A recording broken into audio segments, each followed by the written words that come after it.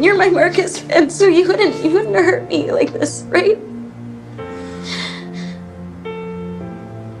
I don't want to. Right, turn around. You. Hmm.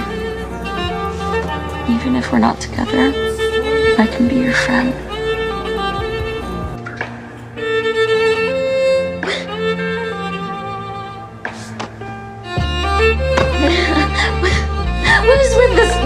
Goddamn hallway? I. You said. You said that you'd always love me. Right? John. You have to. What?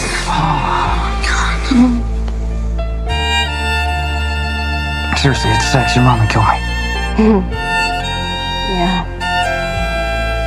Right? You said that you'd always love me today, tomorrow, forever. You said that that makes sense. Yeah. You said that. Those are things standing there? Mm-hmm. Why, why are you? Why are you here, Marcus? My my mom was right. This this is not real. It's not healthy. This bullshit friendship between us and all this sexual tension and secrets. Yeah, it sucks. No, I'm serious. Prove me wrong. What do you want to say?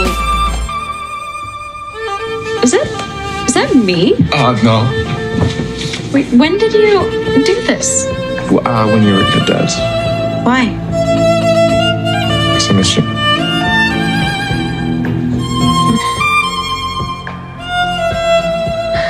I meant that. Then what changed?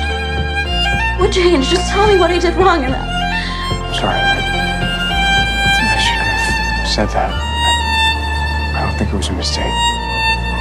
Okay. I forgive you. Okay. Good. I do love you. Ginny. Please, just Oh, tell me. It's nothing. You didn't do anything. It's, it's me. I promise. You promise? You're making promises to me, Marcus? You know what? I hate promises.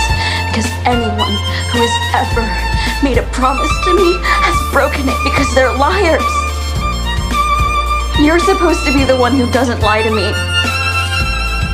Do you even care that you're hurting me? Of course. I just. What?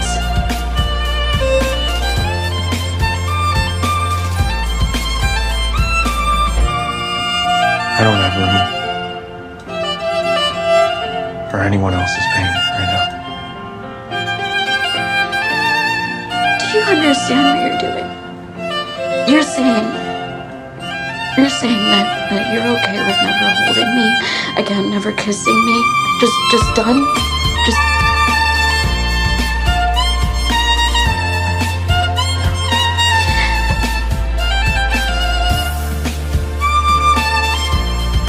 You're gonna regret this. You're gonna realize that this isn't you.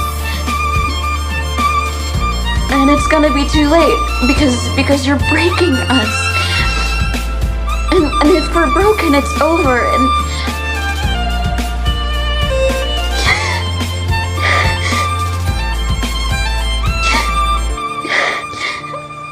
Please, please don't do this, Marcus. Please.